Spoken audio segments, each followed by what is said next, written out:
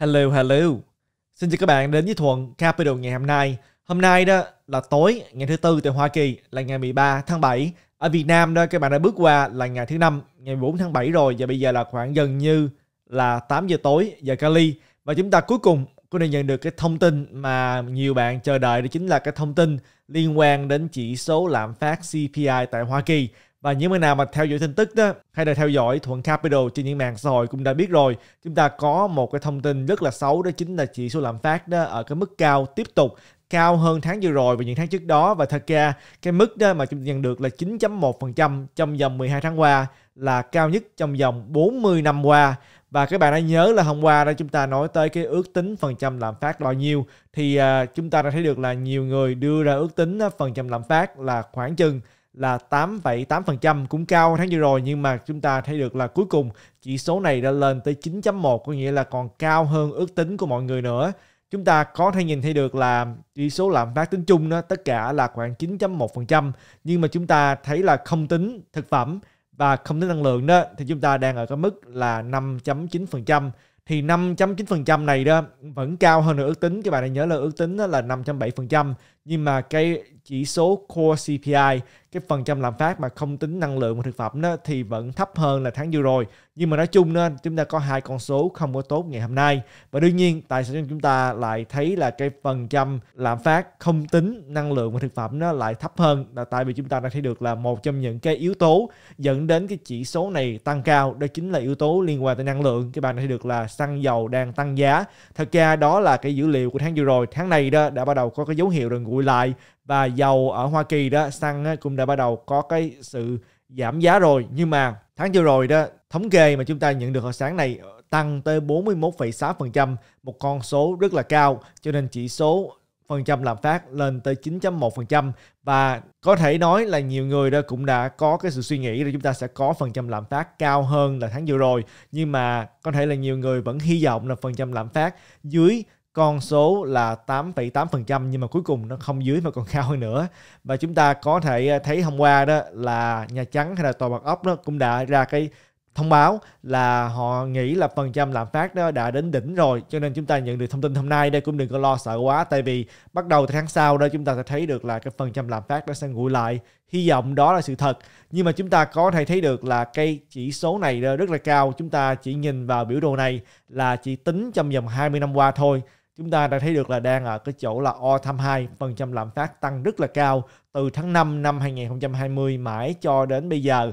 Chúng ta đã được là từ 0.1% lên tới 9.1% và đương nhiên chúng ta có thể trở về xa hơn nữa 40 năm thì chúng ta đã được là cái phần trăm lạm phát này vẫn cao trong vòng 40 năm qua.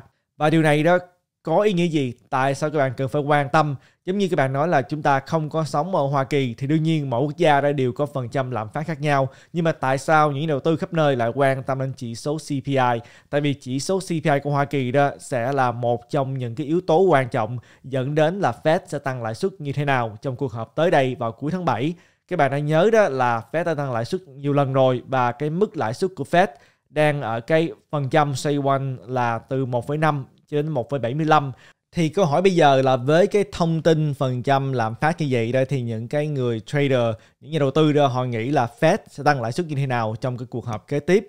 Và chúng ta cũng đã nhớ đó là chúng ta thấy Fed đã từng nói là trong cuộc họp kế tiếp này khả năng tăng là từ 0.5 tới 0.75% thêm nữa. Nhưng mà khi mà chúng ta nhìn vào hợp đồng tương lai đó, các bạn đã nhớ là thị trường nào cũng có hợp đồng tương lai và thị trường cá cược liên quan tới Fed sẽ tăng bao nhiêu cũng có hợp đồng tương lai luôn. Và chúng ta đã thấy được là rất nhanh chóng hồi sáng này đó đã là gần như 50 50 rồi. 50% nghĩ là sẽ tăng 0.75%, 50% nghĩ sẽ tăng 1% luôn nhưng mà chúng ta thấy được là bây giờ đó, thông tin mới nhất khi mà thuận nhìn lại đó, thì lại một lần nữa có cái sự thay đổi lớn bây giờ đó, chúng ta đã thấy được hầu như những nhà đầu tư 82% là nghĩ Fed sẽ tăng 1% và chỉ có 17.9% nghĩ là Fed sẽ tăng 0.75% mà thôi. Nói chung đó, thì hầu như mọi người đã nhanh chóng di chuyển qua, nghĩ là Fed sẽ tăng 1%. Đó là cái suy nghĩ của họ trong đợt họp tới đây và đương nhiên đây chỉ là cái suy nghĩ những nhà đầu tư hôm nay mà thôi chúng ta vẫn chưa nghe nói tới bất cứ một cái lời phát biểu nào đến từ chủ tịch John Powell là sẽ tăng một phần trăm hết. Thì với thông tin này đó các bạn có thể nghĩ là thị trường chứng khoán chắc đỏ lắm tại vì chúng ta thấy chỉ số lạm phát quá cao 9.1%, cao nhất trong vòng 40 năm qua trong khi mà ước tính chỉ có 8.8 mà thôi mà đã là gọi là cao rồi bây giờ còn cao hơn nữa. Nhưng mà thật ra hôm nay chúng ta thấy được là một ngày rất là dao động. Kết thúc đó cũng không bao giờ là đặc biệt chúng ta thấy được là chỉ số Nasdaq thì kết thúc đi xuống một chút mà thôi xuống 0.15% S&P 500 nên thì xuống 0.45% và Dow Jones thì xuống 0.67%. Nhưng mà chúng ta có thể nhìn vào từng thị trường một đó, chúng ta lấy Nasdaq làm ví dụ đi thì chúng ta trở về một ngày tính ngày hôm nay thôi. Hồi sáng này đó khi mà cái thông tin liên quan tới cái chỉ số lạm phát đó thì khi mà mở cửa các bạn thấy được là nhanh chóng. Chỉ số Nasdaq cũng như là Dow Jones và S&P 500 đó đã đi xuống rất là nhanh. Nhưng mà sau đó đó lại có cái sự hồi phục trở lại và kết thúc hôm nay đó coi như là cũng không có xuống nhiều lắm. Mặc dù là chúng ta nhận được cái thông tin rất là xấu. Chúng ta có thể nhìn thấy được là hiện bây giờ đó pre-market thì cũng không có gì là đặc biệt. Các bạn thấy được là hợp đồng tương lai bây giờ thì đi xuống nhưng mà không xuống nhiều giống như là Dow Futures, S&P Futures và Nasdaq Futures thì xuống khoảng chừng là 0.2% mà thôi. Còn về dầu đó thì chúng ta thấy là tiếp tục giữ dưới 100 đô. Bây giờ hợp đồng là một thùng dầu là 96 đô 53 cent. Còn vàng đó thì chúng ta thấy là xuống thêm một chút nữa, mức là một ounce vàng hợp đồng là 1.727 đô. Còn về crypto ra sao? Crypto đó các bạn cũng sẽ thấy được là có phản ứng cũng tương tự như là chứng khoán. Chúng ta đã thấy được là hồi sáng này khi mà có thông tin liên quan đến phần trăm lạm phát đó, trước đó thì chúng ta thấy được là giá BTC cũng đã đẩy cho lên tới 20.000 đô nhưng mà ngay sau khi mà có thông tin chỉ số lạm phát cao đó, thì đã có một cái đợt đẩy giá xuống rất là nhanh, từ cái mức là khoảng chừng 20.000 đô xuống đến mức thấp đó, chỉ còn có là 18.900 đô mà thôi. Nhưng mà sau đó đó thì chúng ta đã thấy được là có cái sự hồi phục trở lại và ngay thời điểm bây giờ đó, giá còn cao hơn trước khi mà có cái đợt đi xuống hồi sáng này nữa. Bây giờ giá đã hơn 20.000 đô rồi. Và đương nhiên chúng ta nói tới BTC thì ờ, Orcoin ra sao? Orcoin cũng có những cái phản ứng cũng tương tự. Chúng ta nhìn vào những đồng lớn đó thì BTC hôm nay tăng 5.3%. Chúng ta có thể ờ, thấy được là những đồng lớn khác cũng tăng nhưng mà có nhiều đồng thì tăng ít hơn giống như là BNB tăng 3.7%, XRP, Cardano khoảng chừng 2%. Trong vòng 24 giờ qua đó thì đồng tăng nhiều nhất đó chính là đồng Lido Dow tăng 37%, kế đó là Polygon. Có một cái thông tin liên quan tới Polygon tôi muốn chia sẻ với các bạn ở cái phần cuối của video này. Còn về những đồng xuống nhiều nhất đó, cũng không có đồng nào gọi là xuống nhiều hết. Các bạn thấy được là đồng xuống nhiều nhất trong top 100 này là Leo xuống chỉ có 3.4% mà thôi nhưng mà chúng ta có thể thấy được là cái sự lên xuống giá bất thường hôm nay đó dẫn đến chúng ta có lệnh lon bị thanh lý lệnh short cũng bị thanh lý luôn. Tuy là cái số lượng bị thanh lý hôm nay đã không có nhiều như là những ngày mà chúng ta thấy được là thị trường đỏ hay là di chuyển mạnh, nhưng mà chúng ta cũng có thể thấy được là với lại cái sự dao động hiện bây giờ đó, các bạn, có thể được là chỉ cần có tin tức thôi thì giá cả có thể là phản ứng rất là nhanh và có thể là phản ứng hai chiều liên tục. Rất là lẹ dẫn đến là chúng ta có thể thấy được là cả lon và short đều bị thanh lý hết ngày hôm nay nhưng mà nói chung hôm nay đã thanh lý tổng cộng trong vòng 24 giờ là 254 triệu, thì cũng không phải là nhiều lắm. Những lúc mà nhiều đó là các bạn đã nhớ là gấp 4 gấp 5 lần con số này. Thì rất nhiều bạn muốn biết là tại sao chúng ta nhận được cái thông tin xấu như vậy, nhưng mà chúng ta vẫn thấy được là chứng khoán đó kết thúc. Coi như cũng không phải là xấu lắm, đi xuống một chút mà thôi. Và crypto thì vẫn có cái sự tăng trưởng. Thì thực ra đó có thể là những người mà ở lại đó giống như các bạn đã thấy là trong vòng 2 3 tháng qua rất nhiều người quan tâm đến động thái của Fed như thế nào, quan tâm đến là lãi suất tăng ra sao và thị trường phản ứng rất là tiêu cực khi mà có những thông tin xấu liên quan tới Fed. Nhưng mà những người mà tôi nghĩ là muốn rời khỏi đó có khả năng là họ đã rời khỏi rồi. Những người mà ở lại đó thì chúng ta hy vọng là cho đến thời điểm này còn chấp nhận ở lại, còn đầu tư thì có tầm nhìn dài hạn và không có còn có sự lo lắng lớn đối với những cái thông tin liên quan tới Fed như vậy nữa. Chúng ta hy vọng đó là sự thật nhưng mà chúng ta chờ đợi xem coi ngày mai tình hình như thế nào. Tại vì các bạn đang nhớ là mỗi lần có thông tin liên quan tới lạm phát hay là Fed á, thì thị trường không có rõ xu hướng.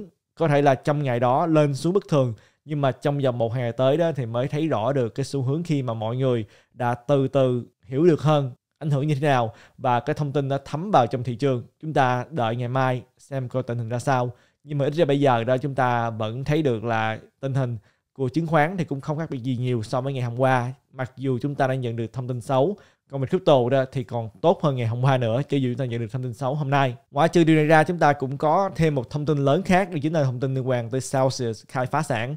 Tôi sẽ chia sẻ thêm chi tiết một lát nữa với các bạn. Nhưng mà trước hết đó chúng ta cũng có một thông tin liên quan tới Netflix mà nhiều bạn à, cũng quan tâm. Đó chính là Netflix là một công ty mà gần đây các bạn đã nhớ là cũng à, khá là tơi tả. Tại vì à, sau khi mà dịch bệnh xong đó thì công ty này đã mất đi khá là nhiều người đăng ký và cũng à, làm ăn không được tốt. Và bây giờ Netflix đã có một cái đối tác. Bây giờ là đối tác của họ là công ty Microsoft. Thì đối tác này làm gì? Giữa Netflix và Microsoft đó, hai công ty này họ sẽ hợp tác với nhau để đem đến một cái à, sản phẩm Netflix mà có quảng cáo, có nghĩa là họ muốn kiếm tiền từ quảng cáo để hỗ trợ công ty đây là điều mà họ cũng đã nói tới hồi tháng tư khi mà nhiều người lo lắng về tương lai của Netflix. Netflix nói là họ sẽ kiếm thêm thu nhập bằng cách là có sản phẩm mà khi mà xem phim gì đó thì có quảng cáo để họ kiếm thêm thu nhập. Bây giờ chúng ta vẫn chưa biết chi tiết như thế nào, nhưng mà ít ra đó thì cái đối tác họ muốn làm việc chung đó chính là Microsoft. Tại vì trong vòng mấy tháng nay đó, họ cũng đã từng nói chuyện với lại Google uh, và Comcast. Nhưng mà cái quyết định của họ đó thì có thể liên quan tới là Google đã có YouTube. YouTube ít nhiều gì thì cũng có cái sự cạnh tranh với Netflix.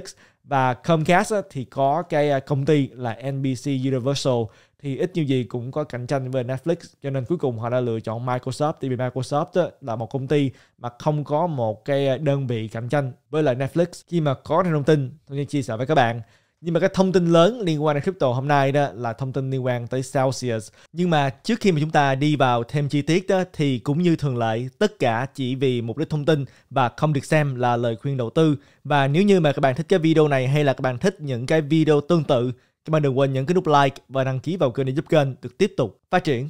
Đồng hành cùng chúng ta trong video ngày hôm nay là Coin98 Super App.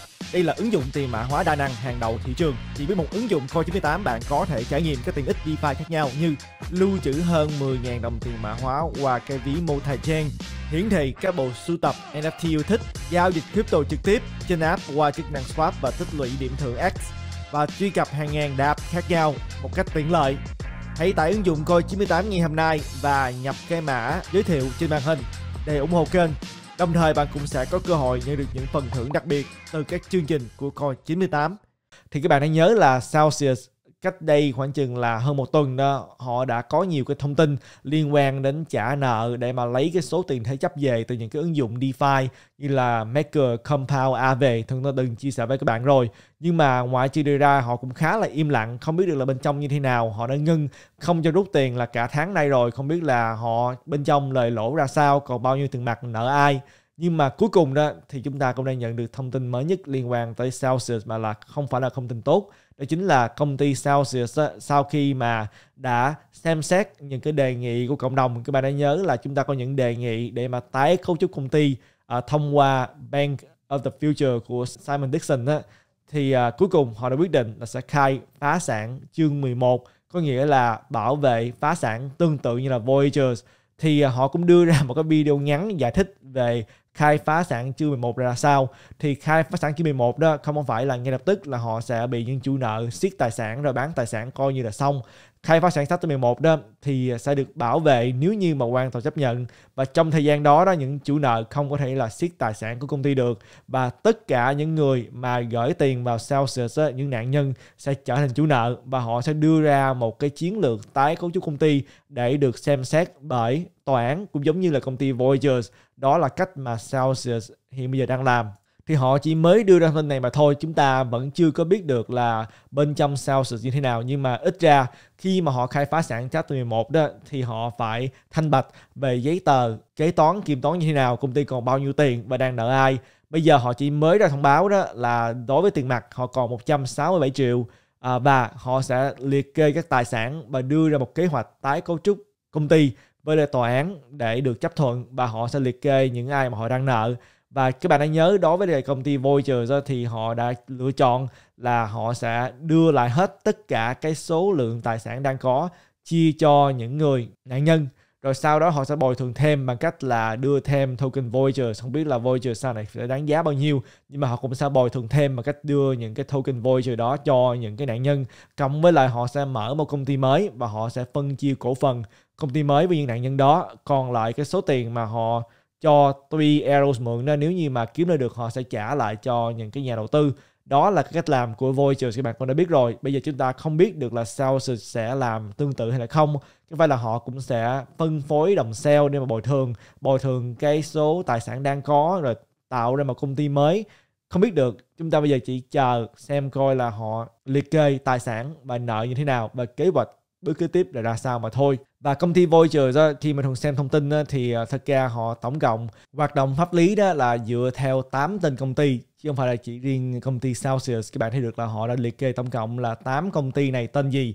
Đó chính là thứ nhất là Celsius Network LLC thứ nhì là Celsius Network Incorporated thứ ba là Celsius Network Limited thứ tư là Celsius KeyFi LLC đây là một trong những điều mà rất là thú vị. Các bạn đã nhớ là KeyFi là công ty mà cách đây không lâu đó đã chỉ trích và kiện Celsius, thiếu tiền của họ, và nói là Celsius là một hoạt động Ponzi. Các bạn đã nhớ rồi, thằng này chia sẻ đó chính là công ty KeyFi mà Celsius đã mua lại. Bây giờ cũng có dẫn chứng là có một đơn vị gọi là Celsius KeyFi cái đó là Celsius Mining cái đó nữa là Celsius Networks Lending LLC cái đó là Celsius Lending LLC và cuối cùng là Celsius US Holding LLC đó là những cái tên mà hoạt động dưới cái công ty Celsius nói chung. Chúng ta bây giờ biết bao nhiêu đó thông tin mà thôi khi mà có thêm thôi chia sẻ với các bạn nhưng mà cũng khá là đáng tiếc đó tại vì thường cũng có à, vài bạn thì vẫn đang bị dính lại ở Celsius vẫn chưa rút tiền được. Nhưng mà cho tới thời điểm ngay bây giờ đó họ không có login cái ứng dụng được luôn. Tại vì tiền à, bây giờ coi như là đã sung vào cái quỹ phá sản này rồi.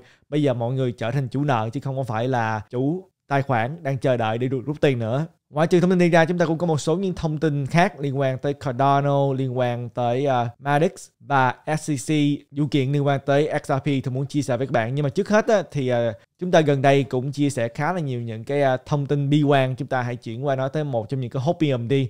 Thì uh, đây là một trong những cái tweet mà cũng đang được nhiều người nói tới. Đó chính là người này đó chia sẻ là chúng ta đang chứng kiến uh, Pi Cycle Bottom có nghĩa là cây dẫn chứng có thể đến đấy dựa theo Pi Cycle. Và đây là một trong những sự kiện mà rất hiếm xảy ra. Đối với người này đó, thì nói là xảy ra vào năm 2015 năm 2018 và bây giờ đã xảy ra thêm một lần nữa.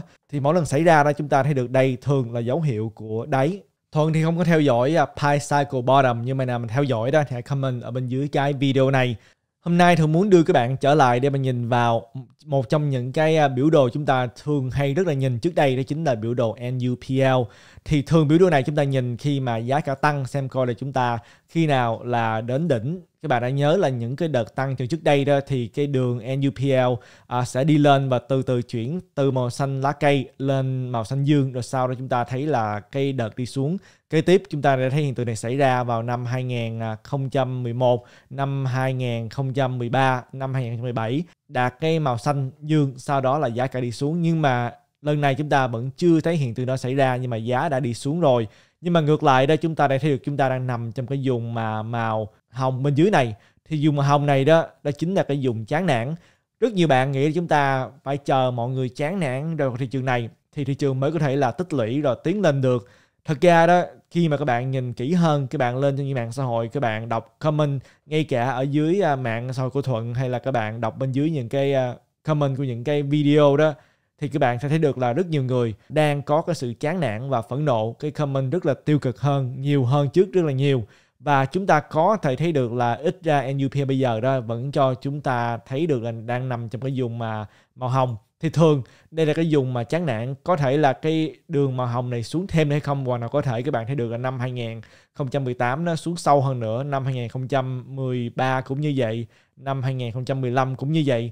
Nhưng mà các bạn hãy nhớ là mỗi một lần mà chúng ta đi qua những cái chu kỳ như vậy đó thì có những cái sự thay đổi. Giống như là chúng ta thấy à, lần tăng trưởng năm 2011 đó đã có ba cái đợt cái đường NUPL này chạm vào cái dùng màu xanh dương trước khi mà giá đi xuống đợt năm 2013 đó thì chạm hai lần, rồi giá mới đi xuống. Đợt năm 2007 đó chạm một lần mà thôi, là giá đã đi xuống rồi. Và đợt này đó thì không có chạm, giá cũng đi xuống. Nhưng mà ngược lại, chúng ta cũng thấy rất rõ ràng là cái đường mà màu hồng bên dưới này đó, thì à, mỗi một thời gian nó lại ngắn hơn nữa.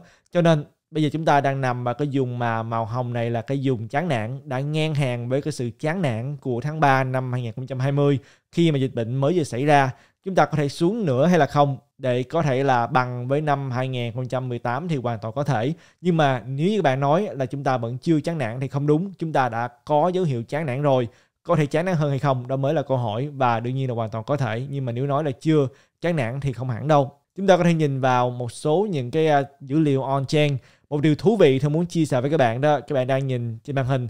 Đây là cái chỉ số những nhà đầu tư ngắn hạn lời hay lỗ có nghĩa là khi mà họ di chuyển bitcoin trên mạng lưới đó nhưng Bitcoin đã lời hay lỗ, và chúng ta thấy được là ngắn hạn, có nghĩa là dựa theo biểu đồ này đó là dưới 155 ngày, có nghĩa là dưới khoảng chừng là 6 tháng đó. Thì các bạn đã thấy một điều thú vị là những nhà đầu tư ngắn hạn bây giờ đó, thật ra những BTC đó đã di chuyển, là đang có lời chứ không phải là lỗ. Các bạn thấy được là bây giờ chỉ số này là 1.01 ngược lại, chúng ta đây thấy được là những nhà đầu tư dài hạn, có nghĩa là đầu tư hơn 155 ngày đó thì đang ở cái mức là dưới con số 1 là 0.67 có nghĩa là những nhà đầu tư dài hạn là những nhà đầu tư mà họ đang cắt lỗ hiện bây giờ dựa theo dữ liệu ở trên CryptoQuant. Điều này đó thú vị một, một chỗ là thường chúng ta thấy là ngược lại. Những lần mà có những cái sự lo lắng đó thì thường những nhà đầu tư ngắn hạn họ sẽ có dấu hiệu là cắt lỗ, nhưng mà những nhà đầu tư dài hạn thì họ giữ vững hơn.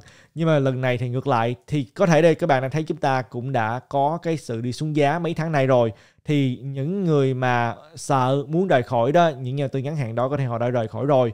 Những nhà đầu tư ngắn hạn còn lại đó thì họ chỉ mới mua thời gian gần đây mà thôi thì cũng có khả năng là tại sao tài liệu on-chain cho thấy là họ đang có lời. Nhưng mà ngược lại, có thể là các bạn nhìn vào những người mà đầu tư, giống như là từ 6 tháng tới một năm đi, thì à, có thể là họ đầu tư trong thời gian đó đó, bây giờ họ đã đang bị lỗ rồi, cho nên họ mới cắt lỗ.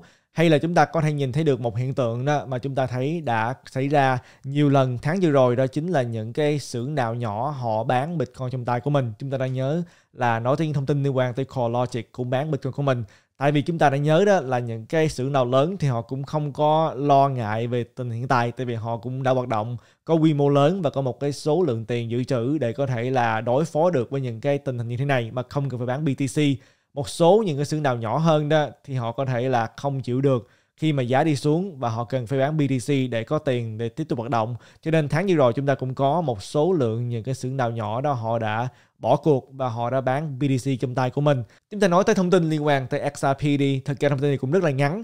Các bạn đã nhớ là XRP là một cái token mà đang bị kiện bởi à, SEC, ban quản lý chứng khoán của Hoa Kỳ. Họ đang kiện công ty Ripple về XRP là chứng khoán đây là một sự kiện đã diễn ra là gần như 2 năm rồi nhưng mà các bạn đã nhớ là mấu chốt trong sự kiện này đó chính là cách đây vài năm thì uh, có một cái giám đốc của SEC là William Hinman à, thì đã đưa ra một cái nhận định Ethereum không phải là chứng khoán. Bây giờ trong cái sự kiện giữa công ty Ripple và SEC đó thì công ty Ripple đòi hỏi là dựa theo những cái nhận định gì những tài liệu gì những dẫn chứng gì mà cho là Ethereum không phải là chứng khoán. Tại vì nếu như mình dựa theo những tài liệu đó, đó thì có thể XRP cũng là tương tự. Nhưng mà sau đó thì SEC đã quyết định là không giao ra những cái lập luận đó cho công ty Ripple. Rồi công ty Ripple đó đòi hỏi tòa án là phải kêu SEC đưa ra rồi SEC nói là đây là cái tài liệu tư ẩn của SEC nên không muốn giao ra nhưng mà cuối cùng nên thì chúng ta nhận được cái à, thông tin đến từ tòa án là họ đã không chấp nhận cái suy nghĩ đó của SEC bây giờ họ đòi hỏi là SEC phải giao ra giấy tờ liên quan tới tại sao Ethereum không phải là chứng khoán để cho công ty Ripple xem và có thể đưa ra cái chiến lược để mà biện hộ cho mình. Đó là điều công bằng dựa theo à, thẩm phán của dự án này. Coi như đây cũng là một bước tiến tới tốt đối với lại công ty Ripple. Và đương nhiên thuận muốn công ty Ripple thắng rồi. Chứ nếu như không thì à, uh, SEC sẽ tiếp tục hoành hành và lại đi kiện thêm nhiều công ty khác nữa. Chúng ta cũng có một thông tin liên quan tới Cardano. Thì các bạn đã nhớ là Cardano có một cái cập nhật kế tiếp có tên là Basel. Thì Basel đáng lý đâu là tháng vừa rồi đó đã cập nhật rồi nhưng mà họ bị lại à, trì hoãn cho đến uh, cuối tháng này. Và có một cái thông tin trên mạng nói là cũng có một số những cái trở ngại khi mà họ thử nghiệm à, cái à, uh, Harvard Basel này và có thể là sẽ bị trì hoãn. Nhưng mà một trong uh, những cái uh, giám đốc công nghệ của Cardano Foundation này nói là đó không đúng là sự thật. Có thể là có một số những cái lỗi nhưng mà họ có thể khắc phục được và không có cái uh, lý do là bị trì hoãn ngay thời điểm này.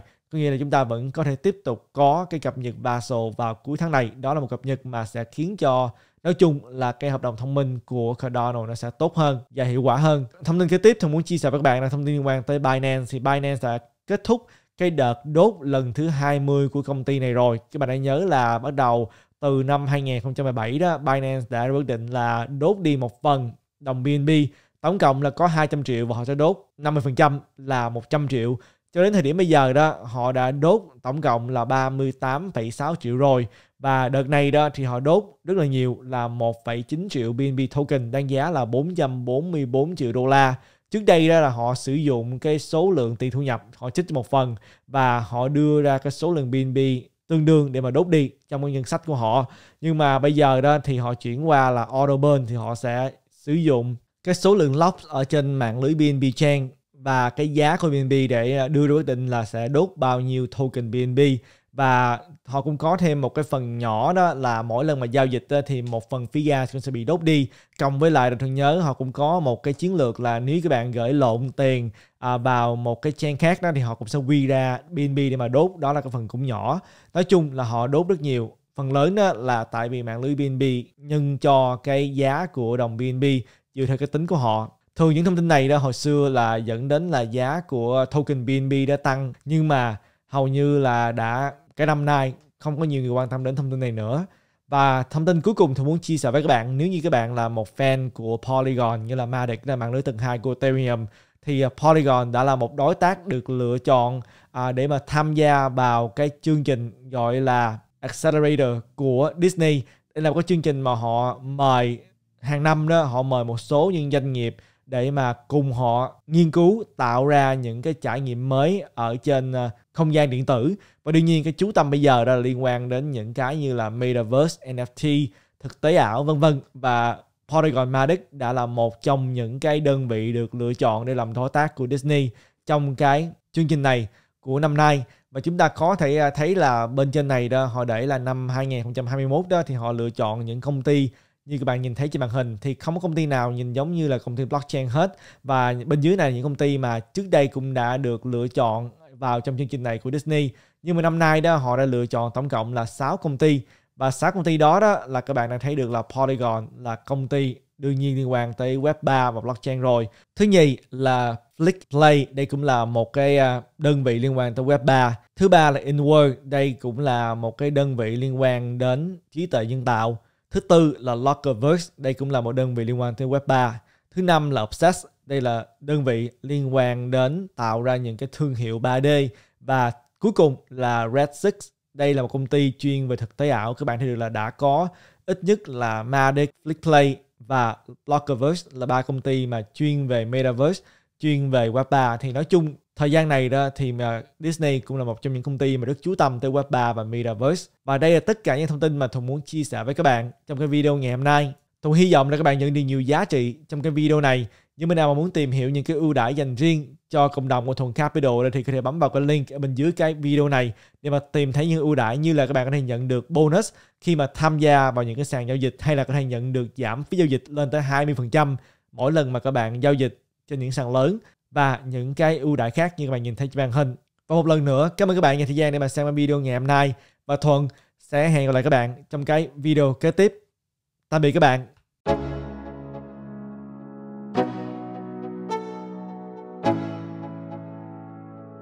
go. Yo. I'm like an addict, do I gotta have it? I ain't even playing, got a really bad habit. If it moves, gotta grab it, fuse like a magnet. Lose, won't have it till I'm doomed in a casket. I ain't playing, gotta